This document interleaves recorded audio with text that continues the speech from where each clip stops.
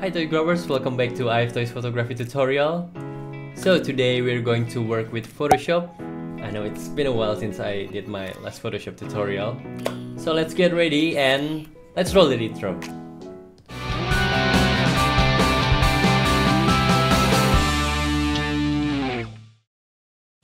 Okay guys, before we go to the editing process, we need to take some photos.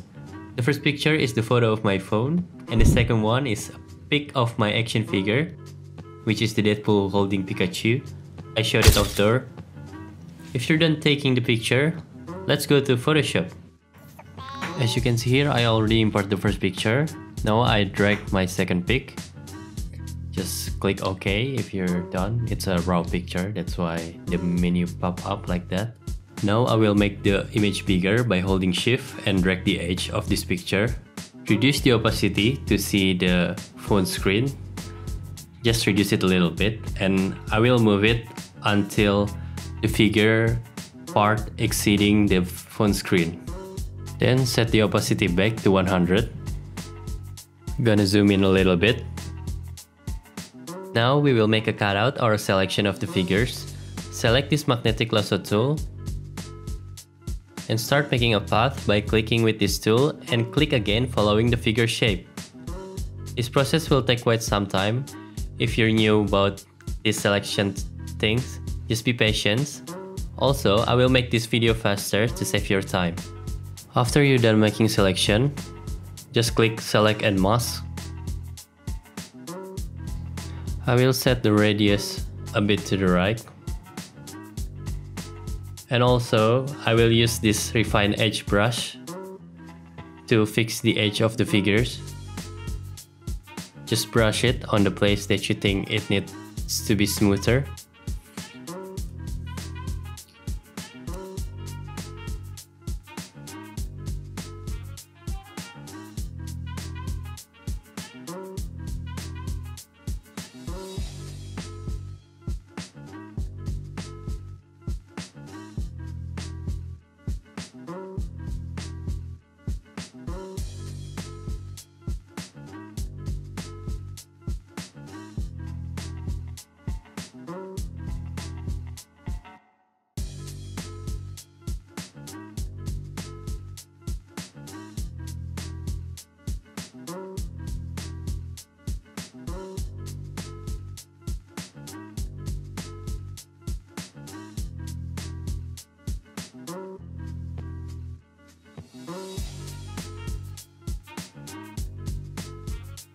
Just click OK if you're done.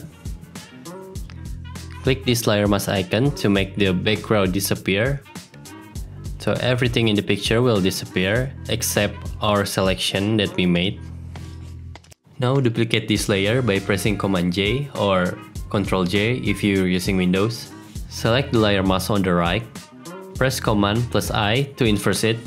And you will see this layer is only showing the background without the figure. So basically it will make it the opposite of the previous layer. Click the eye icon of these two layers to make it invisible. While you're still in this layer, we will now make a selection of the phone screen. So let's go to this tool right here and choose polygonal lasso tool.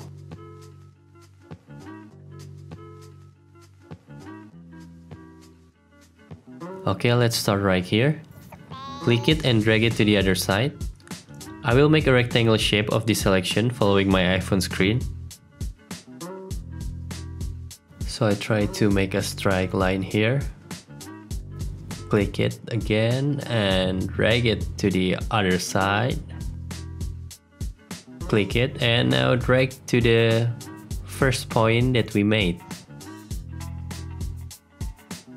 Now as you can see there's a new selection right here click the eye icon on top layer to make the layer visible. You can see this is all background. Now, choose the brush tool.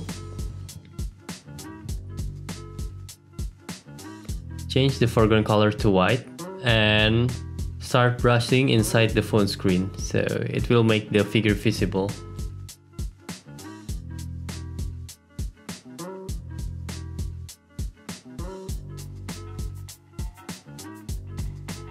Switch the foreground color to black again. Now you can go to select and choose inverse or you can press Command Shift I. It will make the outside area of the phone screen to selection. Now brush it all with the black color brush tool to make all of the area outside phone screen disappear.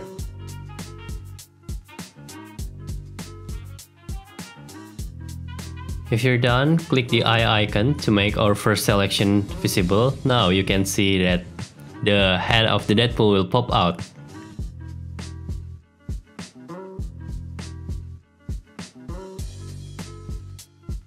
Go to select and choose the select to make the selection invisible or disappear. Now you can see right here, there is a gap between the grass and the phone screen. It's because the image that I use. Click the top layer on the left, right click and choose rasterize layer.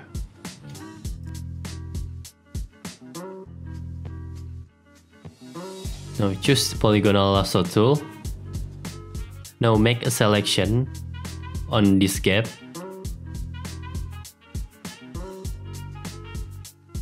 After you make a selection, press Shift Delete and change the contents to content aware it will automatically fill the gap with a grass picture. Okay, that's done. Just press Command D to deselect again. Select the layer mask on top layer. Now you can see these edges are so sharp and it doesn't look good. So click select and mask again and increase the feather a little bit. I will set it around 4.6 pixel. Click OK. Now I click my background layer and create a new layer above it. Select the paint bucket tool, change the foreground color to black. Now click on this layer, you will see the background area will become black. Change the blending mode to soft light it will make the background or the wooden floor darker, then adjust the opacity depends on your liking. Create a layer mask on this layer, and select brush tool. Reduce the opacity first to around 20 or 30%. Brush it with black color brush, focus on the bottom and the middle area. I think you need to brush it a little bit, just to make it less darker. Now create a new layer again, and put it on top. Use paint bucket tool and paint the whole layer black again. Go to filter, render and choose lens flare. I will move this lens flare to the center. Make sure to choose 105mm prime and I will set the brightness around 100 to 110%. Click OK, change the blending mode to screen. Now we get the fake sun that we will put on the picture to make it looks better. Now I move the sun around here on the right side. Go to filter, blur, Gaussian blur. You can see some rough lines surrounding the lens flare here. You can make it disappear by adding this blur. Set radius depends on your liking but in this photo I will set it to 12 pixels. We will add a color to this lens flare. Now open Hue Saturation by pressing Command U, tick the colorize box, then change the color to orange or yellow in order to make it look like a sunlight.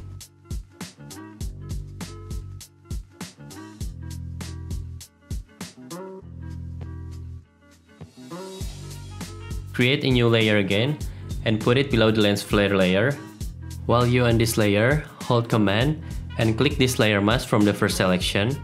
It will make a copy of the selection into this new layer. Select gradient tool. I will choose this black and white preset here. Now click and drag it upwards. This is to make the bottom part of the figure looks darker. Deselect the layer by pressing Command D and change the blending mode to multiply. Reduce the opacity a bit. This time we will make a shadow of this figure.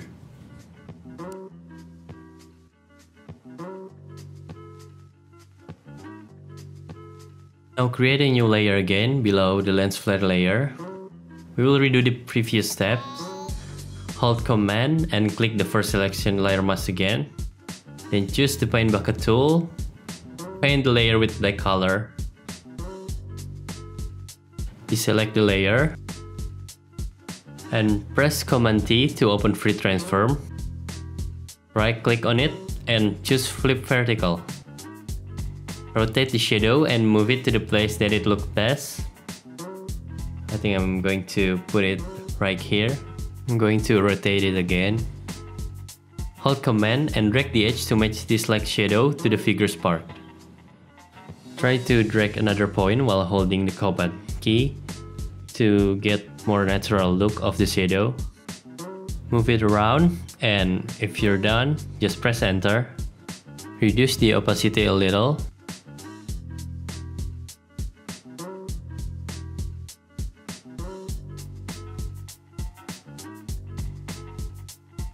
To make the shadow smoother, go to filter, blur, Gaussian blur again, and set the radius depends on your liking. I set it to 23 pixels. Create a layer mask on this layer, and I will use soft brush in brush tool to erase the overlapping shadows on the floor. Just brush it gently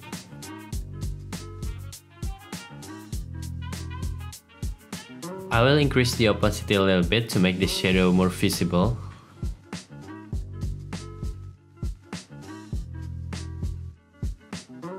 Now I will do the adjustment of brightness and color balance. Go to adjustment tab, choose curves. In this RGB curves, I will click to make a point on the center and drag it down a bit. I will head to adjustment tab again and choose color balance. Select highlights first, and I will slide it to the right towards red color, around plus 4. Change into midtones. I slide the midtones to yellow, around minus 9. For the shadows, I slide it towards cyan, minus 6, and to blue, plus 6. Now I'm gonna make some adjustment for this image. I'm gonna select this layer, which is the second selection layer, and I will use blur tool to make some of the phone edges blurry. Also, I forgot to erase this green grass between Deadpool Snake and Pikachu's tail. So first locate the layer. I think, yeah, it is this layer. Click the layer mask and I will use brush tool with black color brush to erase it. Oops, if you erase the tail, you can always switch the brush color to white to fix it. And you can see here, there is still green line here on the figure surrounding. You can use brush tool on the layer mask to fix it. Well, I didn't really pay attention on the select and mask part. Yeah, I think you should do better than me on this refine edge things. Finally, it's done. So this is the before photo and this is after we edited. Looking great. Okay guys, thank you for watching this video. I think that's all for today, right? I think that's enough for you. And don't forget to like this video, subscribe to this channel, and also don't forget to turn on that notification bell down there. See you in the next video. Bye!